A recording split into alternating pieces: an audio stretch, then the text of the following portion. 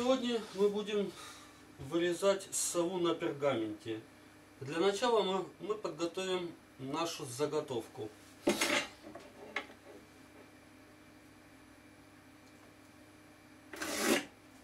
Проведем направляющие на заготовке. Хочу отметить сразу, что заготовка будет у нас 300 на 180. И теперь нам необходимо найти центр нашей заготовки. Так, находим центр нашей заготовки.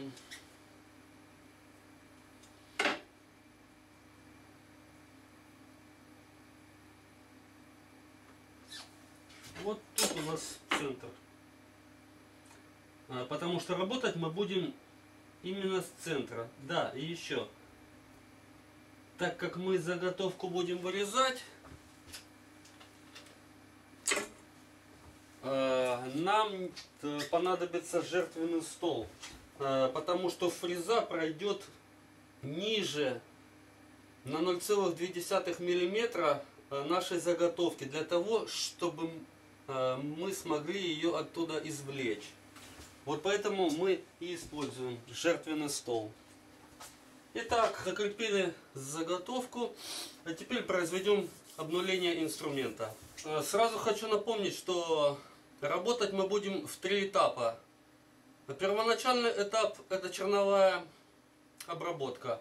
Мы будем ее делать концевой однозаходной фрезой э, диаметром 4 миллиметра. Итак, берем нашу цангу для 4 миллиметрового сверла и закрепляем шпинделя.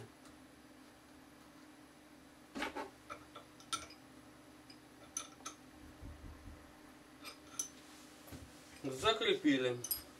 Сейчас произведем обнуление инструмента. Нам нужно подвести нашу фрезу в центр заготовки.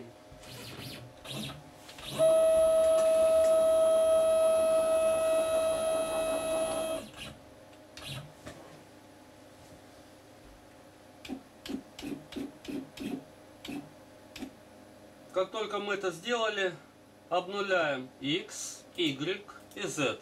Теперь отводим шпиндель на безопасное расстояние. Итак, наш матч включен, джекот загружен, шпиндель на безопасном расстоянии, жертвенный стол мы установили, фрезу концевую э, диаметром 4 мм мы установили, обнуление инструмента мы сделали, Приступаем.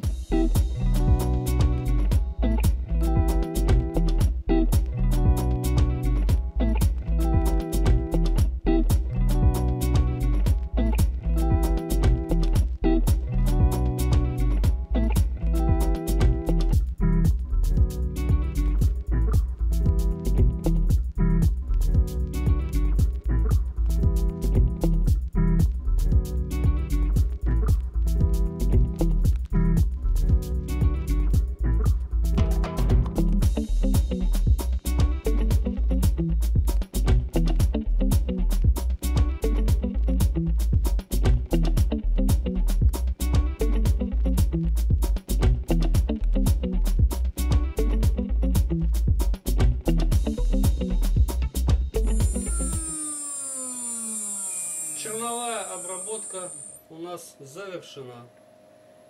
А, теперь необходимо поставить фрезу для чистовой обработки и обнулить инструмент.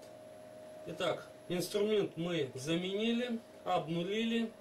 Сейчас у нас установлена коническая сферическая фреза диаметром 6 мм. И мы приступаем к чистовой обработке.